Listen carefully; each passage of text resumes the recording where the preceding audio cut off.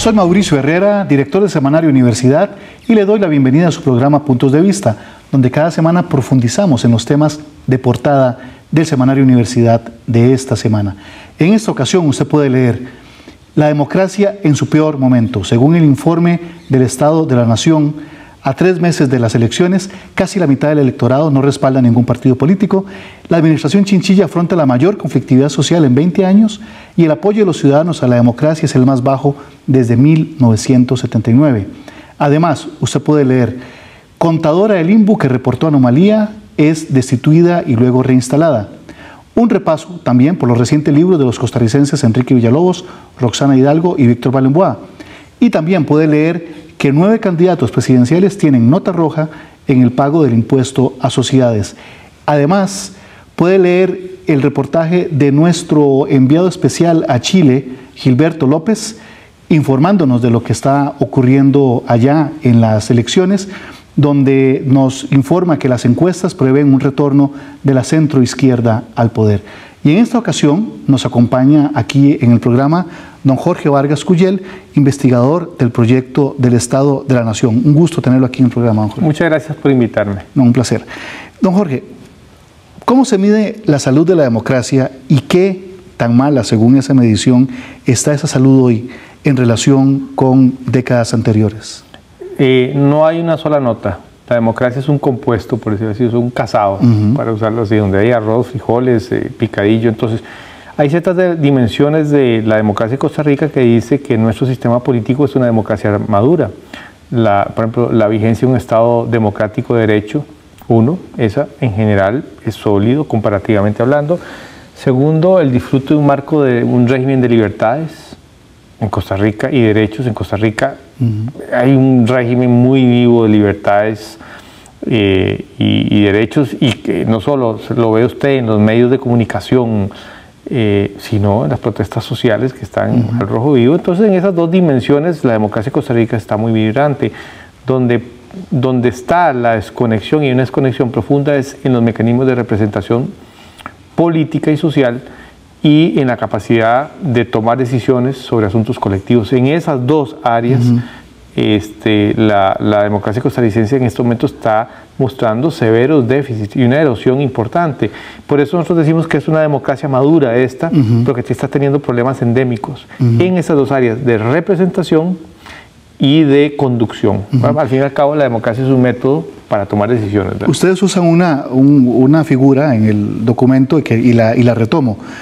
Si los indicadores democráticos que ustedes miden fueran el tablero de controles de un avión, estaríamos pasando por una turbulencia pasajera, un problema serio que pone en peligro la seguridad de los pasajeros o una caída hacia un desastre. No, yo diría que si fuera un panel, habría parte de las luces que le indica que, eh, que están en verde. O sea, usted está en un avión que tiene, está bien construido en términos generales, que es robusto, pero de repente eh, se le están encendiendo unas luces rojas que dice que quizá la gasolina se le está, eh, se le está acabando, que hay algún motor que está fallando. No es que se va a caer, ni mucho menos, pero usted tiene que tomar medidas, tiene que tomar medidas. Y ahí es donde uno tiene que interpretar bien los indicadores políticos eh, y ponerlos en ese contexto más amplio de cuando hablamos de democracia, no hablamos de una sola cosa, sino conjunto. un conjunto. Yo usé la figura culinaria del casado, ¿verdad? Pues algunos alimentos de ese casado empiezan a oler, a oler mal, están pasados, hay otros que no.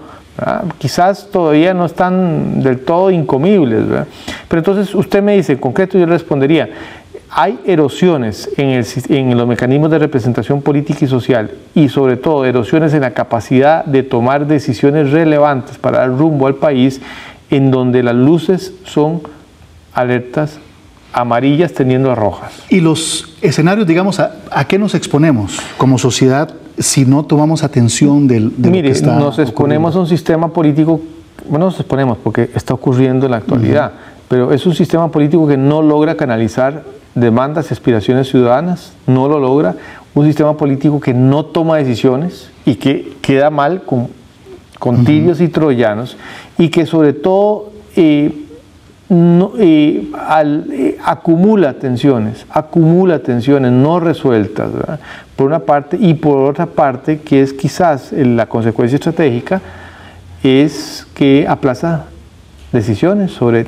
desafíos urgentes del desarrollo. Pero uno, uno puede pensar que ese aplazar decisiones, ese patear la bola para adelante, llega un momento donde ya no da para más. Bueno, el terreno fiscal ya no da para más. Ya no da para más. Ahí el próximo gobierno no puede este, darse el lujo, por decir, fracasar, porque eh, el, tema de la economía fiscal, el endeudamiento, la capacidad de invertir y gastos están en este momento en un punto realmente crítico. Vea usted, solo, solo, sin alterar nada, un estudio que nos hizo el Instituto de Investigaciones eh, Económicas de la Universidad de Costa Rica nos dijo que solo para pagar la deuda que ya hemos contraído, sin agregar un 5 más de deuda, dada la actual estructura de gastos e ingresos, va a implicar agregar dos o tres puntos del Producto Interno Bruto en recaudación tributaria. Y fíjese que el, ministro de Hacienda en esta discusión ha planteado un conjunto, un menú de medidas que, si le va bien, pegaría 3, 3 y medio. O sea que estaríamos aumentando la carga tributaria no para hacer nuevas inversiones en desarrollo, etcétera, sino buena medida, buena parte de ese aumento para pagar la deuda que ya hemos contraído. Punto. Me, llamó la atención uno de los, de los datos que, ustedes muestran. Por ejemplo, el índice de estabilidad democrática, que pasó de, 66 puntos en 1980 a tan solo 27 en 2012. Pero la situación política y social de Costa Rica en el 80 pareciera haber sido mucho más complicada que la actual. ¿A qué se debe eso? En primer lugar, explíquenos qué es el índice de, estabilidad democrática y luego, ¿a qué se debe? Y también le pregunto, ¿es acaso que Costa Rica es un país con mucha, por decirlo así, resiliencia democrática? Es decir, que aguanta muchos deterioros sin llegar a quebrarse.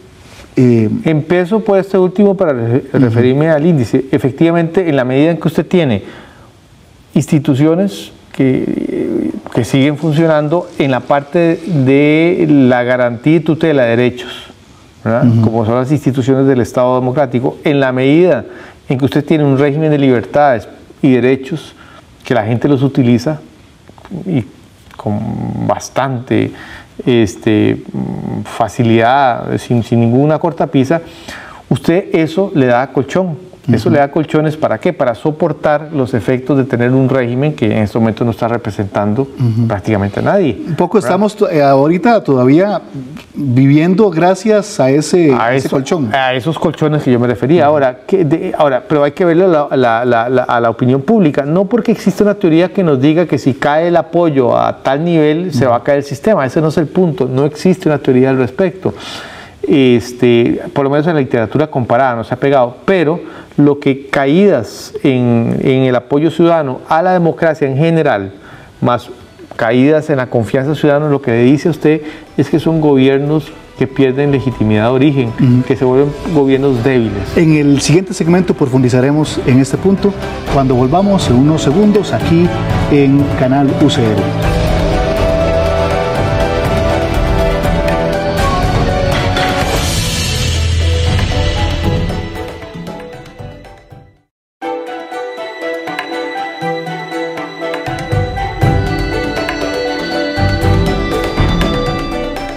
Gracias por acompañarnos y por continuar con nosotros aquí en Puntos de Vista.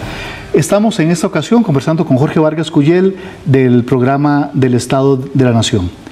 Eh, don Jorge, conversábamos ahora acerca del índice de estabilidad democrática, de cómo había pasado de 66 puntos en el 80 a tan solo 27 en 2012. Entonces, bueno, que nos explicara qué es este índice y también si esto implica que la democracia costarricense tiene una tremenda flexibilidad y, colchones, digamos, en donde puede eh, descansar eh, y confiarse en momentos de cierta crisis como estamos ahora. Yo le había dicho que sí, en términos de resiliencia sí tenemos, es como tener una cuenta bancaria, que, ya no es tan interesante con la que tenía uno hace unos meses o años, pero sigue siendo una cuenta bancaria importante. Pero ¿qué es el índice de, de una democracia estable? En primer lugar, ahí estamos midiendo actitudes ciudadanas, actitudes hacia el sistema político y actitudes hacia la tolerancia política. Entonces, las personas que apoyan una democracia estable son las personas que, por una parte, se sienten orgullosas de vivir en este país, sienten que los tribunales los protegen, apoyan el sistema en general y al mismo tiempo eh, tienen unos niveles de alta, de alta tolerancia política, que es otro pilar de la democracia. Entonces la gente que combina un alto apoyo al sistema y una alta tolerancia, es decir, al ejercicio de los derechos de los demás, decimos que gente que es un núcleo duro que apoya la democracia como sistema y también como régimen de libertades. Bueno, eso se nos deterioró mucho. Insisto en una idea que dije antes del corte. Eso caída no implica que por tanto a la vuelta de la esquina se va a caer el sistema político, porque hay otros niveles que no son de opinión ciudadana sobre los cuales el país tiene bases importantes, robustas. Pero sí significa que, por ejemplo, la buena voluntad hacia el sistema político y en particular al gobierno, incluso de aceptar decisiones duras, impopulares, porque yo creo que la democracia me da algo a mí y a los míos, eso sí se ha reducido y se ha deteriorado mucho. Ustedes hacen un estudio bien interesante acerca de los partidos políticos en este informe. Una de las cosas que plantean, bueno, se plantea que es evidente que una democracia es impensable sin partidos políticos, pero entonces una democracia es tan débil como sus partidos y si así fuera, el diagnóstico que ustedes hacen de los partidos es bastante crítico. Eh, si eso se trasladara al sistema como un todo, es, es tan grave. Mire, eh, no, una democracia no es tan débil como los partidos, porque existen otras eh, dimensiones no partidarias de la democracia que funcionan, estén o no estén los partidos, pero los partidos son un ingrediente indispensable. ¿Qué es el punto? Eh, ¿Por qué nosotros nos metimos a, examinar el tema de la organización partidaria?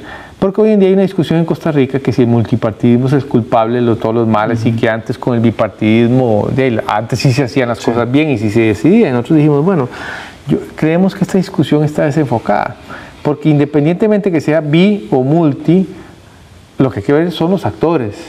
Y perdonen la, metáfora futbolera que le voy a decir, yo, si yo juego muy mal fútbol, ¿ah? Lo mismo da que me pongan de volante izquierdo en el Carmelita FC o en el Barcelona, sigo siendo un pésimo jugador de fútbol.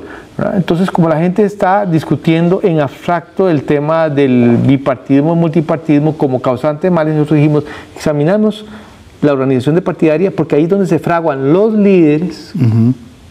Que elegimos. Y ustedes encontraron una serie de, indicadores muy ah, precisos. No, miren, nos metimos es como, a fondo. Es como el examen microbiológico de la salud de los partidos. Nos metimos a estudiar estructura, nos metimos a ver funcionamiento, nos eh, metimos a estudiar las ideas, con qué cara se presentan en el electorado, nos metimos a, examinar planes de gobierno, fuimos a entrevistar líderes de base. ¿Y cuál es el balance general que obtienen? El balance general es, se lo voy a poner así, hay, primero que no todos los partidos son iguales, hay, muy, hay diversas estructuras, pero en términos, en un balance general con el poco tiempo, son partidos con estructuras que básicamente dejan de operar una vez pasadas las elecciones.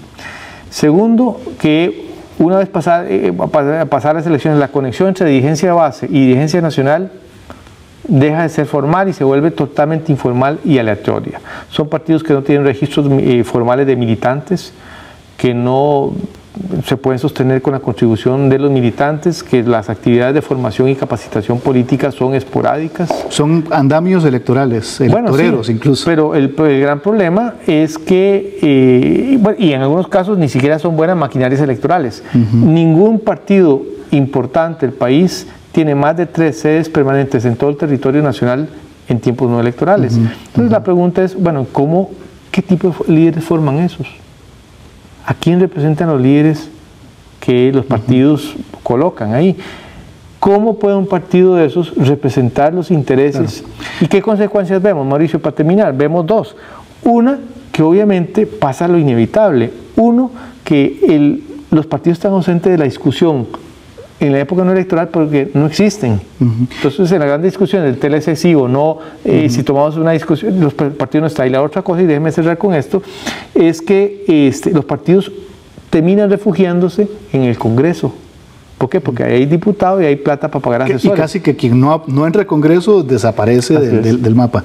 Que precisamente pareciera que eso puede ser una de las explicaciones al fenómeno que ustedes también apuntan, que los eh, partidos tienen problemas para agregar intereses y para renovar liderazgos con arraigo social. Mire, si usted se da cuenta, el perfil de, los, de la mayoría de los políticos que han surgido en las últimas décadas, excepto los que se formaron más atrás de ello, son políticos, muchos porque han sido, tenido una carrera burocrática dentro del Estado, pero no son líderes de masas no son líderes de masa, no son líderes que tuvieron que ir a ganarse a pulso. Ese problema mucho puede, ser, puede explicarse a partir de esa falta de, de, enlace. Es que, claro, porque entonces e, en esas estructuras muy burocratizadas de partidos, usted hace carreras y está en el Estado. Continuaremos hablando de esto en el siguiente bloque, en unos minutos cuando volvamos de unos mensajes aquí en su programa Puntos de Vista.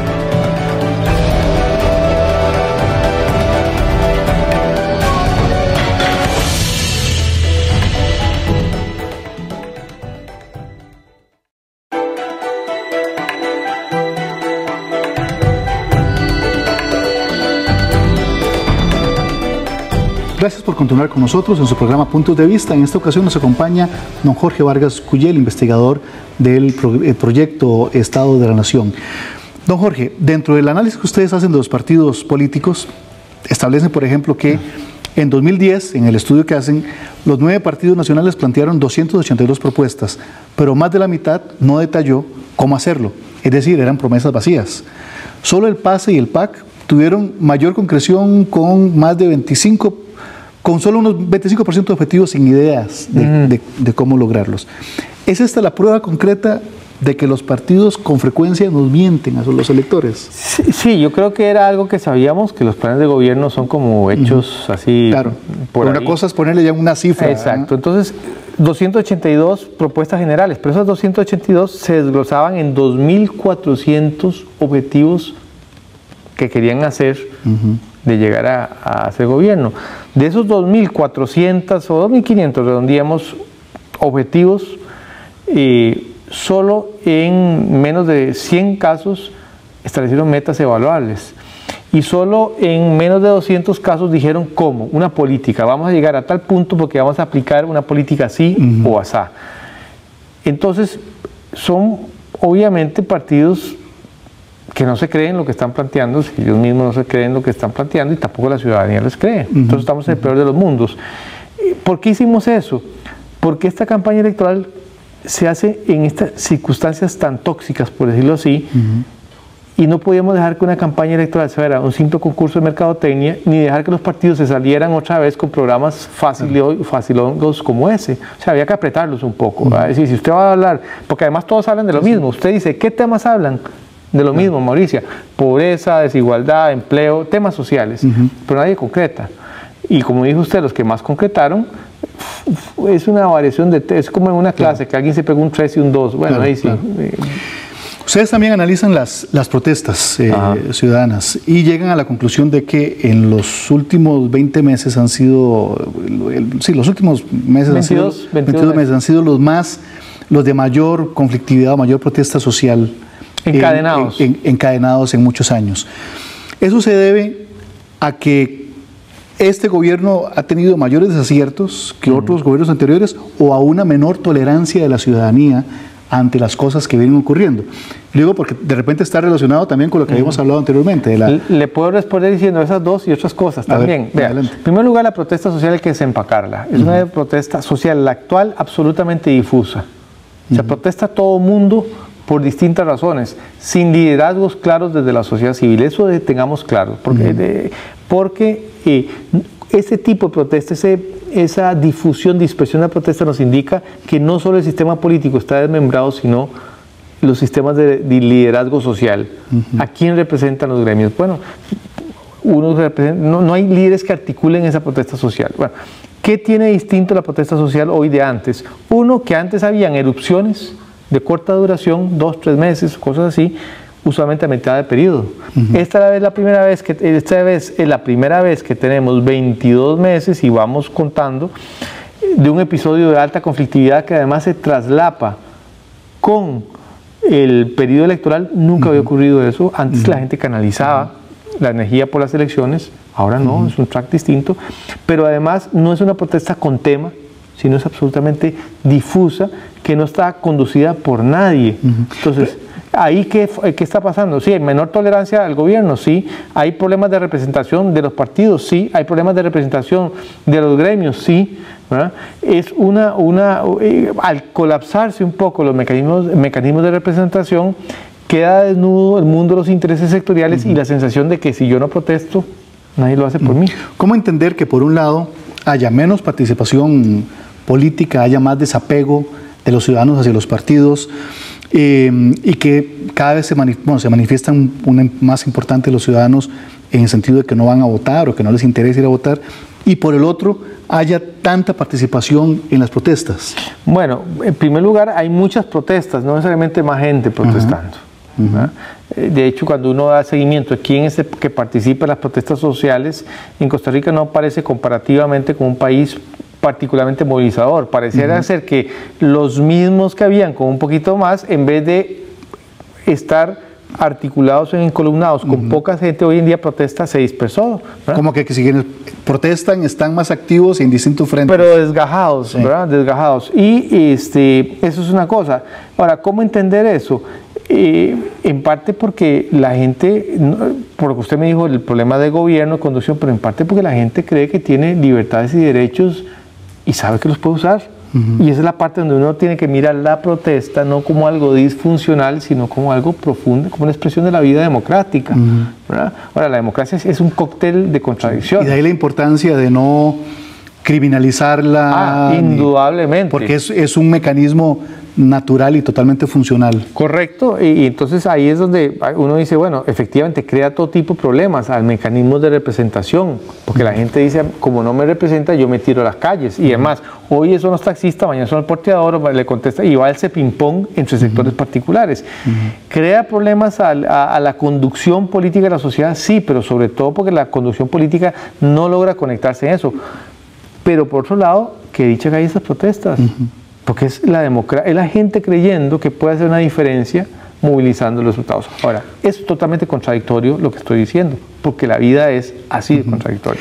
Ustedes también profundizan en el tema de la desigualdad. Y bueno, Costa Rica es el único, según el estudio que ustedes presentan, de 18 países de América Latina en donde la desigualdad aumentó en los últimos 20 años. ¿Cuáles son las consecuencias prácticas de esa situación? En términos de consecuencias, usted tiene varias cosas que más o menos se han podido estudiar. Uno, niveles de desigualdad eh, crean este, factores de riesgo para una mayor violencia social. Eh, particularmente la violencia delictiva. No es que sea mecánico, pero, pero en general usted se ha estudiado ese fenómeno que estadísticamente hay una asociación. Segundo, ustedes se le agravan los problemas de cohesión social. Mm. Este, la sensación de, por ejemplo, que somos una sociedad, en, particularmente esta sociedad donde el, en, el, en el imaginario colectivo costarricense, el tema de la igualdad y el ser maniticos es bien importante. Bueno, usted pierde esa sensación de, de, tener cierto rumbo o algo en común. Pero tercero, la desigualdad usted le, se le traduce inevitablemente en las decisiones políticas, porque uno se vuelve muy poderosos y otros se vuelven demasiado débiles. Entonces, cuando la democracia coexiste con niveles muy altos y crecientes de desigualdad, usted genera también desigualdad de recursos políticos. O sea, se vuelve más difícil poder acercarnos al principio de que todos pesamos más o menos igual. La medida de la desigualdad, el coeficiente Gini, sigue aumentando. ¿Por qué? Bueno, es una explicación compleja, pero como hay poco tiempo, permítame decir que según el Estado de la Nación, uno de los factores principales son el funcionamiento del mercado laboral, donde se ha ido generando eh, no solo un mercado laboral segmentado, sino cada vez más separado entre un grupo minoritario de profesionales el cual, y técnicos y población, entre los cuales probablemente estamos usted y yo, a los cuales los últimos 25 años han sido muy buenos muy buenos. Y que se pueden enganchar a las oportunidades. A la modernidad, y si no es por aquí por allá. Pero resulta que el perfil de la fuerza laboral nuestro es mayoritariamente no calificado, que están agarrando empleos mm, de mucho menores niveles de ingreso, muchos de ellos precarizados, con alto incumplimiento de las garantías laborales y sin mayor perspectiva de engancharse del otro lado. Entonces, el mercado laboral nos está creando este, este, esta, esta desigualdad de resultados y está alimentado de esa desigualdad de resultados en el mercado laboral ¿verdad? por brechas de productividad cada vez mayores. Y en el último minuto, ¿cómo, cómo intentar revertir eso? Mire, la clave aquí es las políticas de empleo. No tratar el problema del empleo como algo residual, marginal. Mira, en dos segundos, tenemos políticas robustas de salud, de educación, tenemos políticas robustas para fomentar a los nuevos sectores de la, de la economía y políticas de empleo nos quedamos siempre con plancitos pilotos. O con un INA, que es una institución muy importante, que estuvo muy desenfocado y muy desorientado en su accionar por varias décadas. Le agradezco muchísimo su presencia. Ha sido un gusto compartir con usted y también con los, con los amigos televidentes. Nos vemos la próxima semana en un nuevo programa de Puntos de Vista aquí en Canal UCR. Gracias.